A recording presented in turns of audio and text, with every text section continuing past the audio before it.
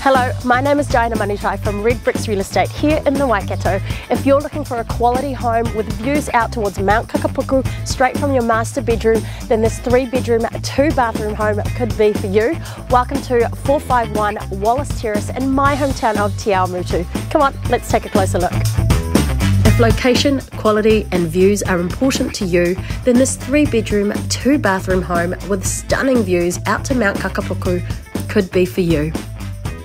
Located in one of the most coveted streets in Te Awamutu, this home boasts three good sized bedrooms, all with built in wardrobes, with the master complete with walk in wardrobe and ensuite.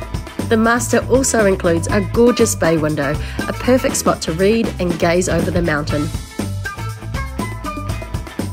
The family bathroom includes shower over bath and vanity, and there is a separate toilet.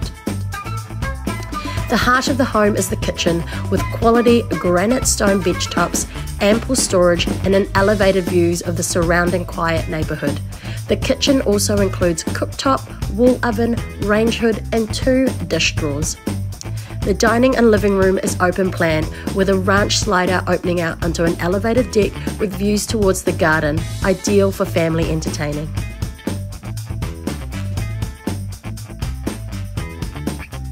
Keeping warm and comfortable year round won't be an issue here, with wood burner and heat pump located in the living areas and a heat pump in the master bedroom. There is a double internal entry garage as well as carport, so off street parking will be a breeze. Located in a quiet neighbourhood with views out towards rural farmland as well as Mount Kakepuku and within walking distance to local schools, shops, parks, and supermarkets, this home will appeal to a wide audience. Thank you for taking the time to watch this video. We'll be selling by way of negotiation with no fixed price. We have a detailed information pack available on this property, so please do not hesitate to contact myself or one of the team to arrange your own private viewing or pop along to one of my open homes. I'd love to meet you.